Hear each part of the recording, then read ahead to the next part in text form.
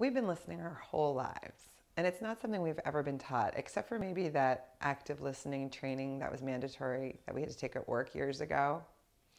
As parents, we tell our kids to use your listening ears, but really that's just code for pay attention the first time. Listening is also almost non existent in politics and much of mainstream media, and we've become impoverished by this lack of respectful dialogue. And what about in our own lives? How are we coming into conversation with each other? And are, are our attempts to reach out across differences in our personal lives fruitful? For me, it's a mixed bag. I'm a three minute storyteller where I've, I've had the great fortune of being in conversations with leaders and movement makers of all stripes. The conversations have been nourishing and fruitful and enriching, even if they've been challenging. I'm always left nourished. But in my personal life, with my family and friends, the conversation often disintegrates into a heap of frustration. So, what's the disconnect? Are there conditions that are supportive to good listening? And if so, what are they? And how can I apply them more universally in my life? Generous listening, I realize, is how we show up to a conversation. It's an intention we set before any communication begins and it requires practice, which is definitely not something normally associated with listening. I know I, for one, don't thoughtfully think about how to engage with my Uncle Bert at holiday dinners, even though I know he's going to corner me and give me an earful. More often than not, fraught conversation catches us by surprise. It's when we're at the sidelines of our kids' soccer game or we're at a neighborhood barbecue but instead of dreading these inflection points, what if we saw them as opportunities to weave our frayed social fabric back together? I know that we all have the innate capacity to bring our lives into conversation.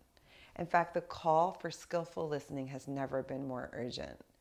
Because despite all we've been told, change doesn't happen in the center of power. It happens at the margins and it builds towards a critical mass. We are the change we've been waiting for. And this National Week of Conversation is the perfect opportunity to become what we practice.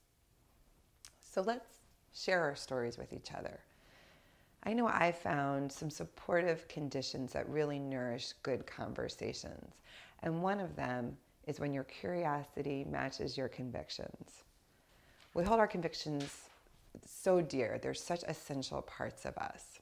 And sometimes it feels dangerous to enter into a conversation where we know the other person has different beliefs than us. It almost feels like we're going to compromise our beliefs just by beginning the conversation.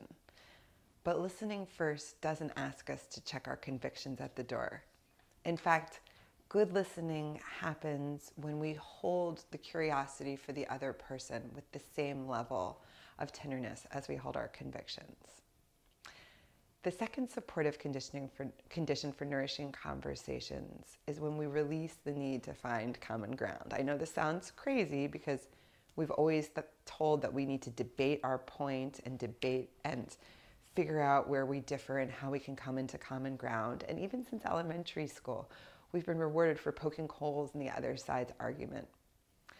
But listening first gives us permission to leave the hard questions unanswered.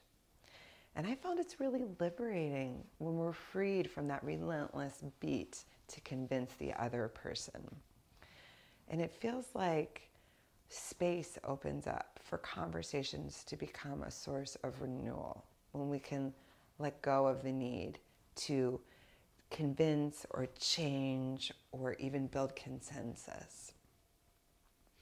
So when we listen with the ears of our heart, and we let go of all outcomes and expectations except for the willingness to be surprised, we find that conversations be- can become an oasis. And maybe even with Uncle Bert. I'm not sure about that yet, but I'll let you know after dinner.